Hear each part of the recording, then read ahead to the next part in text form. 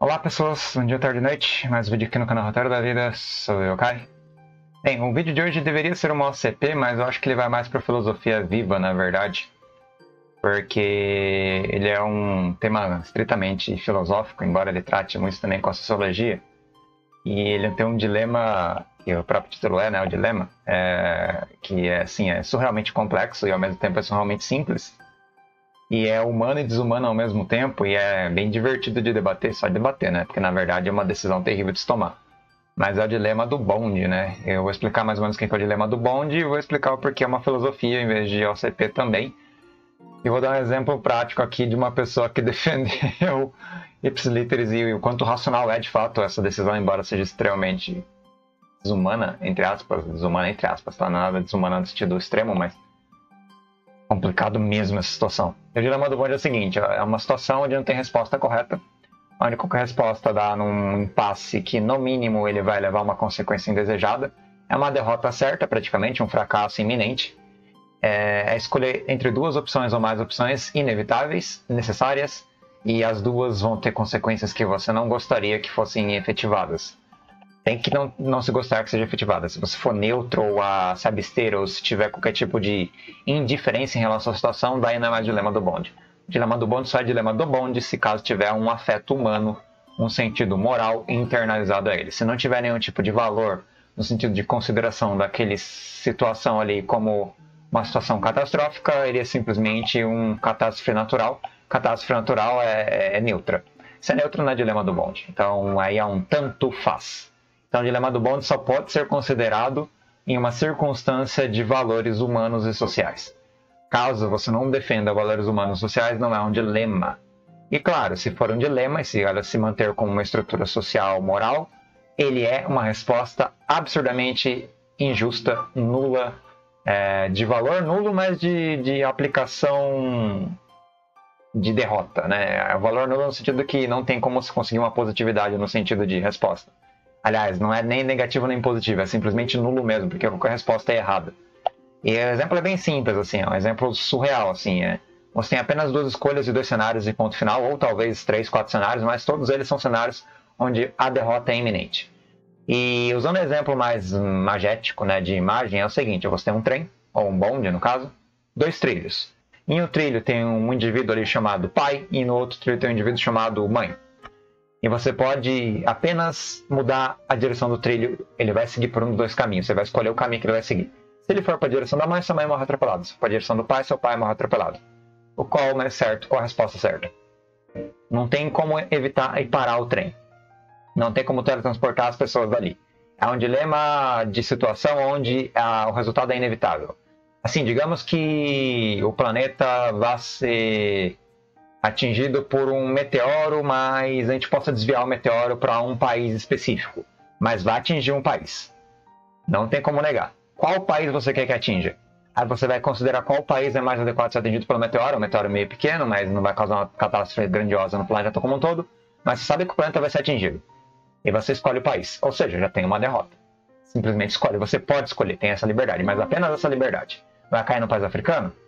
E vai cair numa capital de um país. Inevitavelmente uma capital, porque os dados registram isso. Não tem como não cair numa capital.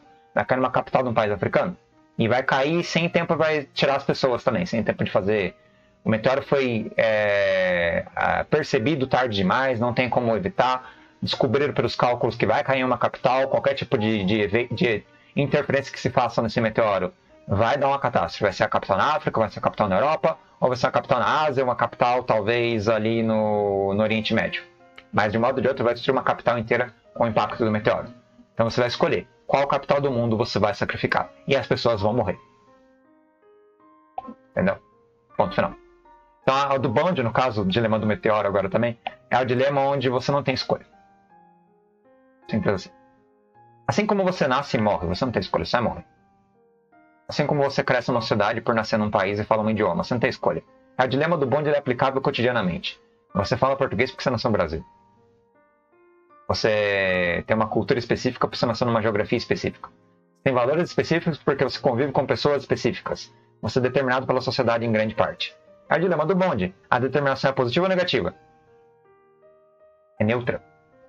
mesmo que você se torne nazista ou comunista ou qualquer coisa que você queira dar como qualidade, você nasceu numa sociedade que garantiu que você se tornasse isso.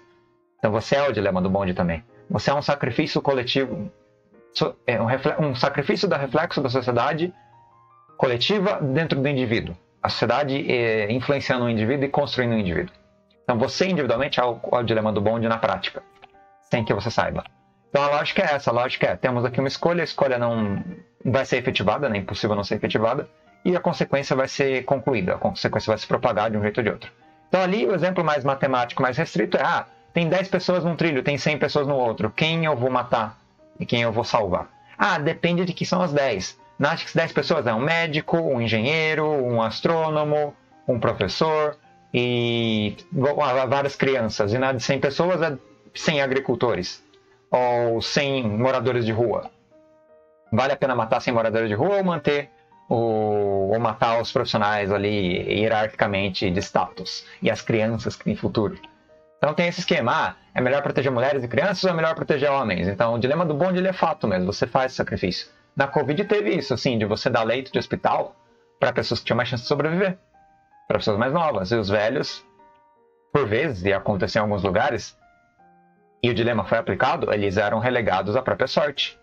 Ou seja, se o trem passasse por cima deles, azar deles, porque eles não tinham cama de hospital, é, intubação, não tinha equipamento, não tinha como, eles foram descartados. Então o dilema do bonde ele é vigente o tempo inteiro. O tempo inteiro. Acontece quando você está na sala de aula. Você vai ensinar para o aluno que está prestando atenção ou você vai ensinar para o aluno que não está prestando atenção? Você vai abandonar o aluno que não está prestando atenção? Será que você é, negar a, o ensino ao aluno que por acaso é diverso, não está num dia bom ou quer conversar com os amigos e se negar a dialogar com ele ou agredi-lo de um, outro, de um modo ou de outro, atropelá-lo de um modo ou de outro, é, expulsá-lo da sala, xingá-lo, não é um dilema do bonde também? E na prática é. Você está com um trilho na mão, o trilho do bonde, atropelando alguém. E a realidade é isso, é causa e efeito, é sempre consequência. Então esse dilema é um dilema que aparece no anime também, que é legal de comentar, que é o anime chamado Tokyo 24 Kill, né? Deixa eu ver se aqui é o nome dele, é exatamente esse, eu não tenho certeza se o nome é essa pronúncia. Só vou conferir aqui, é quase certeza que... Ah, tirei o anime da... o HD da, do plug.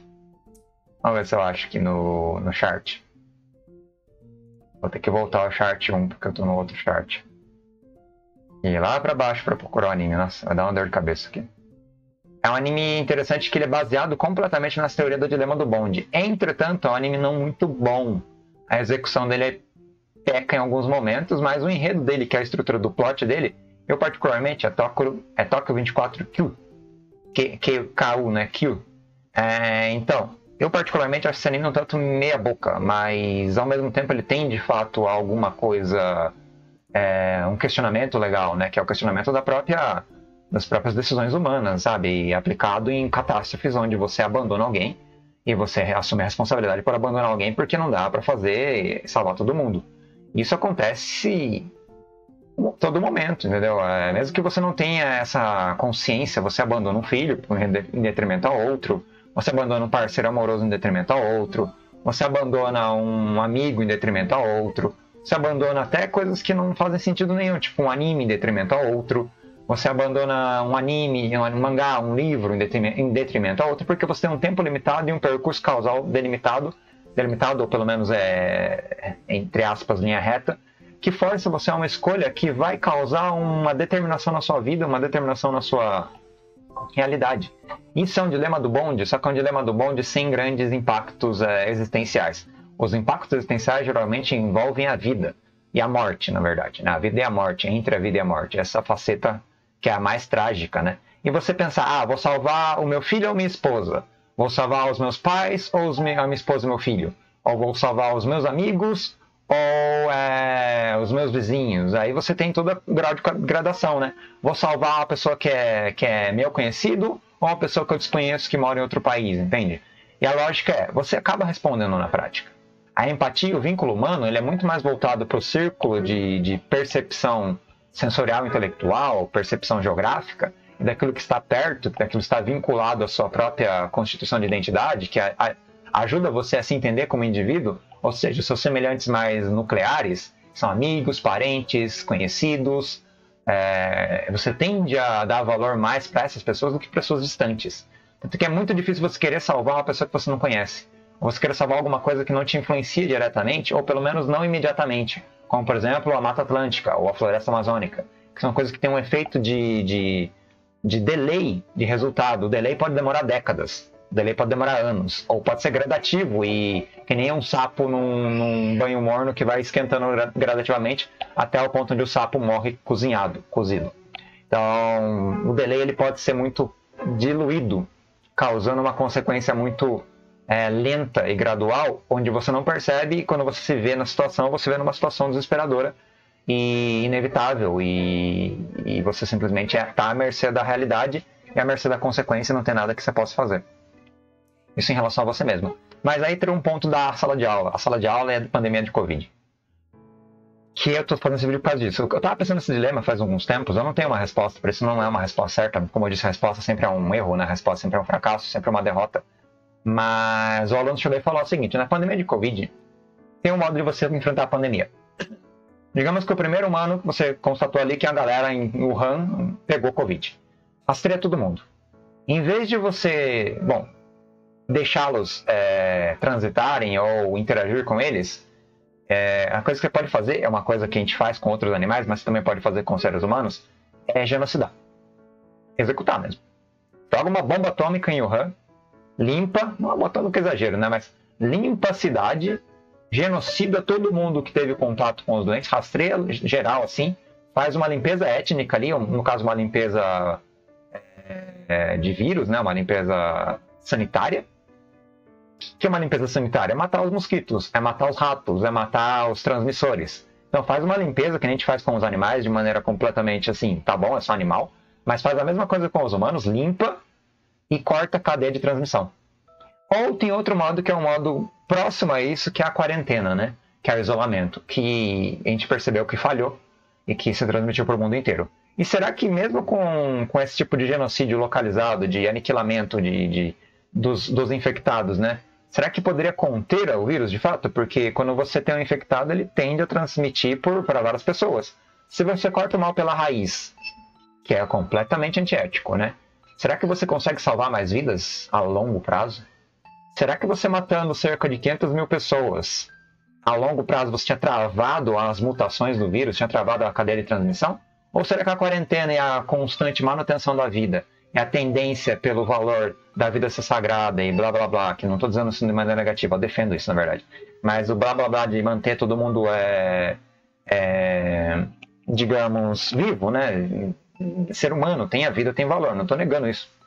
Mas a aluna falou com os dois pés que ela achava uma, uma resposta válida você simplesmente executar as pessoas, assim como a gente faz com outros parasitas, né? Com outros seres que nos causam mal, a gente diminui a população deles, corta a cadeia de transmissão e aniquila uh, para que o vírus não se reproduza internamente, né?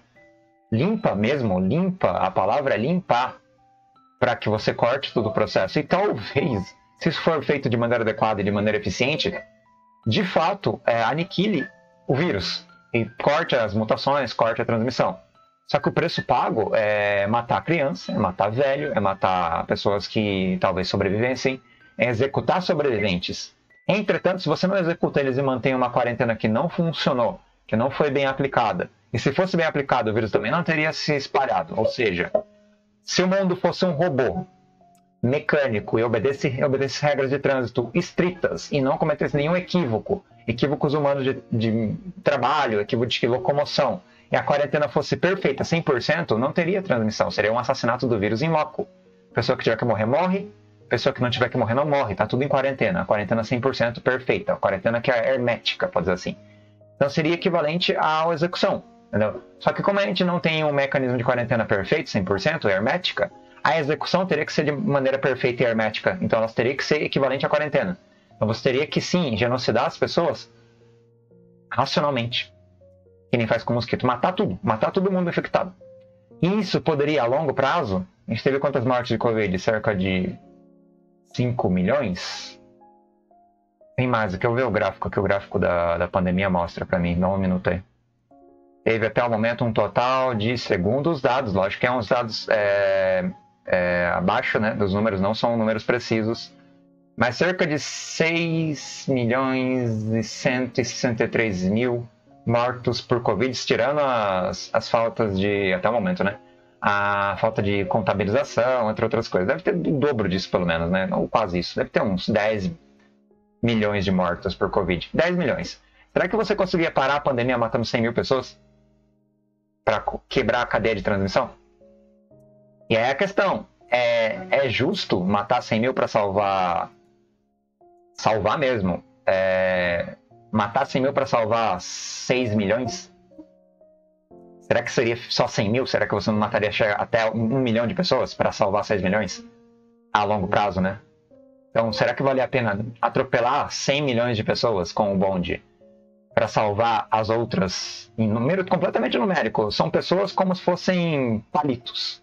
Quebrar um milhão de palitos em vez de quebrar 6 milhões de palitos completamente desumano e insensível, porque se você colocar a humanidade no meio, a resposta é fracasso. Como eu falei, é o dilema do bonde. Mas assim, pensando friamente sobre essa resposta desse aluno que não estava fazendo por maldade, era apenas uma.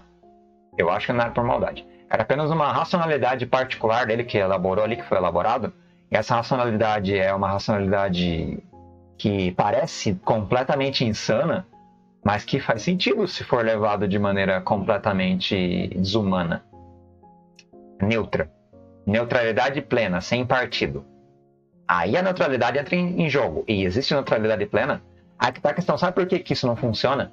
Porque somos seres sensíveis, sociais.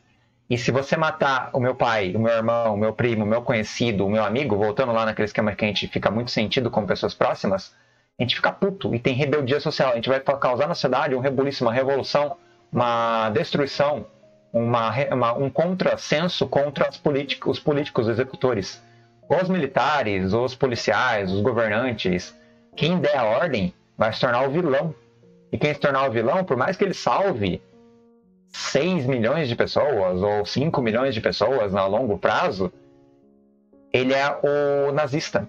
Ele é o, Hitler ele é o desumano e ele vai ser crucificado. Ele, crucificado é uma péssima palavra.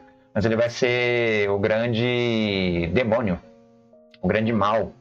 Mas ele é um grande mal que fez o que a longo prazo? Talvez salvou vidas.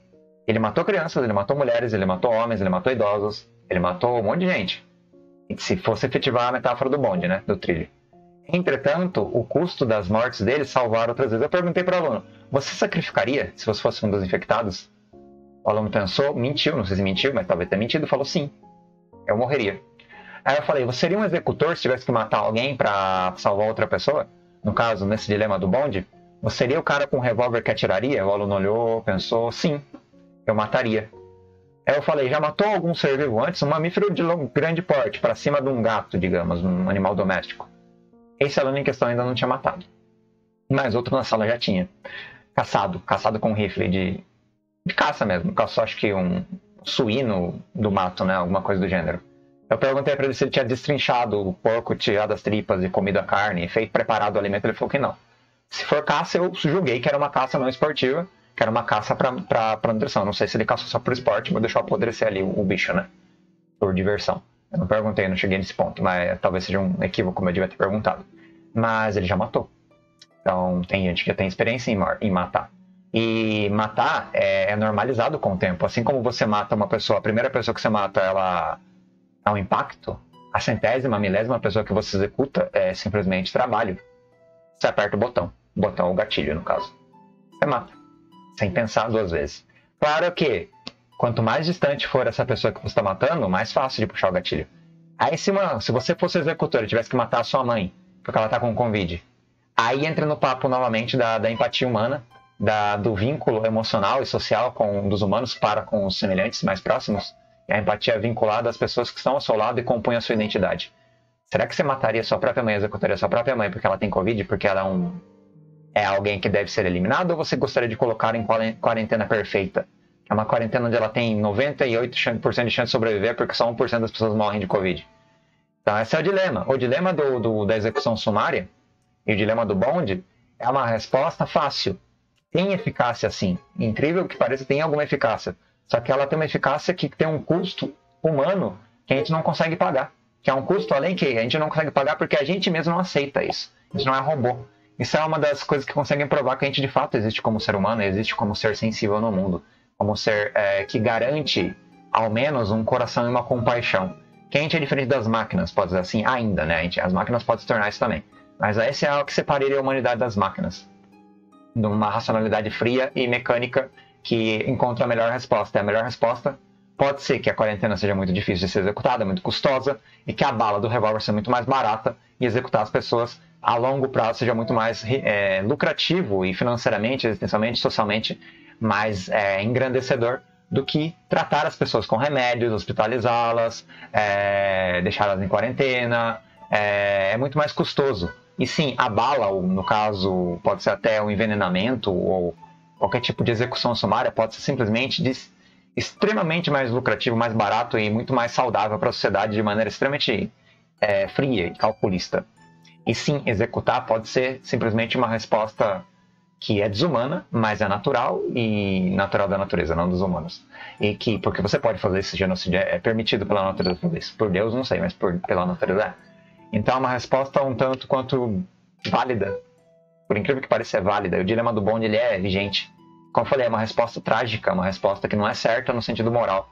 No sentido puramente desumano, puramente para além do humano, acontece. E pode ser, e acontece o tempo inteiro, na verdade. É uma resposta, um dilema vigente no cotidiano. E você já tomou essa decisão, eu já tomei essa decisão. Todo mundo aqui já tomou a decisão do bonde. Claro que não foi uma decisão limítrofe, onde você matou alguém diretamente, eu acho. Tomara que não pode até ter acontecido também, né? De você, por exemplo, é, pegou a Covid, teve que trabalhar por algum motivo, escolheu ir trabalhar por algum motivo, porque estava com medo de ser desempregado, perder o emprego, não pagar as contas, não tem filho para cuidar, e você, inúmeras pessoas, né, em vez de fazer a quarentena certinho, com peso na consciência, ia trabalhar com Covid e tudo, e transmitir o vírus. E quando transmitia o vírus, matava as pessoas indiretamente, sabendo que estava matando as pessoas, e cometendo o dilema do bonde. Qual era o dilema do bonde? Ficar em casa e entrar em falência, e não pagar as contas, ser demitido, ou ir trabalhar e matar pessoas. E adivinha qual a resposta que as pessoas tiveram na grande maioria dos casos? Ir trabalhar e matar as pessoas. E por isso que morreram 6 a 10 milhões de pessoas. Porque a gente escolheu um modo de vida diferente.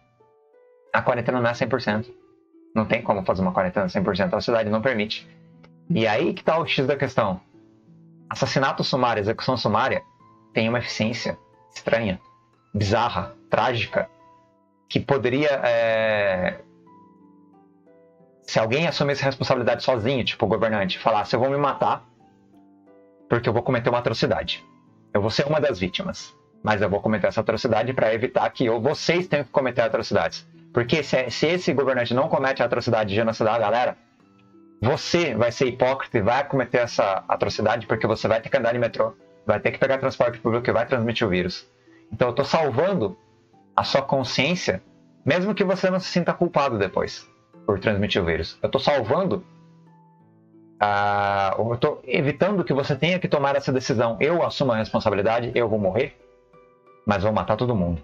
Então tem isso também, tem aquele que é o agente que tem o poder para dar a, a, ordem, a ordem de, de, de, de limpeza Claro que quando não é um ser humano, quando é um gado, um cavalo, um mamífero, um morcego, coisa, a gente pode simplesmente começar a genocidade geral e não assumir responsabilidade nenhuma nem ser preso por isso.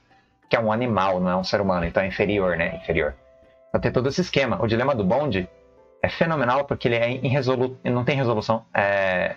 Porque ele é um dilema de moral onde a moral entra em paradoxo e é um paradoxo insolúvel. É, a moral ela autocolapsa, que nem um castelo de cartas. Ele só funciona se você for desumano. Se você for desumano, você pode efetivá-lo. Depois, colocando humanidade, colocando consequências, colocando é, penalidades em relação às suas ações, que inicialmente não foram colocadas, inicialmente não precisam ser colocadas. É, se você tirar, né, a, tomar a ação de maneira fria, calculista, e depois você toma, é, coloca de novo a jurisprudência, a justiça e a ética da nossa, dos nossos comportamentos culturais para punir as suas ações então você dá uma liberdade ali de um ano, meio ano, para a pessoa fazer o que quiser. Depois que ela fizer o que ela quiser e ela puder fazer isso, ela toma é, as consequências dos atos que ela efetivou, né? É como se desse um, um período de, livre, de bandeira branca, né? De total autonomia. Depois você vai ser julgado pela autonomia e pelas consequências da sua autonomia. Ou não, você vai ser santificado ou é, perdoado porque o que você fez foi necessário na, cir na circunstância. E como eu falei, o dilema do bonde é extremamente normal. Todo mundo comete, todo mundo é efetivo é, o tempo inteiro, o tempo inteiro. E todo mundo mata todo mundo num sistema causal complexo chamado caos, que é a existência. Quer queira, quer não, porque você é impotente, você é frágil, você é humano, você não é Deus. Então é. É o tempo inteiro a gente fazendo isso. Então é legal de pensar nisso também. Eu, não vou criticar o aluno por ter dado essa resposta. Eu não vou nem impugná-lo. Eu acho uma resposta interessante até. É um modo de resolver o problema, sim. É brutal, mas é um modo de resolver o problema. Agora, você com a sua moral pode pensar moralmente que isso é inaceitável, tal. E essa inaceitação sua causa indiretamente também que você seja responsável por 6 milhões de mortes. Se o dilema fosse bem aplicado, perfeitamente aplicado, né? Então, indiretamente, você está ajudando as pessoas a morrerem ao salvá-las. Está salvando a pessoa e ao salvar a pessoa está condenando ela à morte. Ou condenando outras pessoas à morte porque você salvou alguém. Salvar uma pessoa pode condenar 10 à morte. Como eu falei, em vez de executar, você deixa ela em quarentena. Quarentena é bem cumprida, ou transmite para alguém. Em vez de executar essa pessoa que recebeu o vírus, também não executa, transmite para alguém. Aí vira o quê? Aí o vírus multa, o vírus tem a oportunidade de evoluir. Aí ele evolui, começa a ganhar mais eficiência. E essa eficiência garante mais transmissão, essa maior transmissão garante mais mortes e ad infinitum, né? Até que ele você controla com vacina, ou talvez controle com vacina. Então é complexo.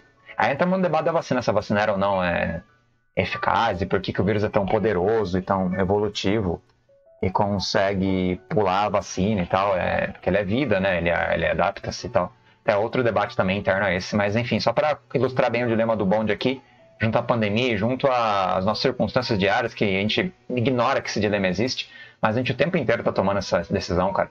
É, seja para prestar um vestibular, seja para procurar emprego, seja para procurar um parceiro, seja para falar ou proferir alguma moral, para falar ou proferir algum intelecto, a gente sempre tá tomando uma decisão de determinação na realidade e atropelamento daquilo que é contraste a ela. Esse atropelamento, sim, gera dor, sofrimento e muitas vezes gera conflito, ódio, rancor. Porque sim, entendeu? Ah, eu sou professor, o meu dilema do bonde é ensinar os alunos. Ensinar os alunos é em grande parte, é, puni-los, ou pelo menos educá-los. Educação é um dilema também. Então é uma coisa corriqueira e o tempo inteiro eu tenho que assumir essa responsabilidade. E eu posso também assumir a responsabilidade ao me executar, né? Falar, ah, não, eu cometi todos esses erros, agora eu sou um culpado e eu devo morrer. E é isso, se todo mundo é culpado no mundo, todo mundo tem, tem culpa no cartório, todo mundo vai morrer. Então a espécie humana deveria ser aniquilada e todo mundo vai cometer suicídio.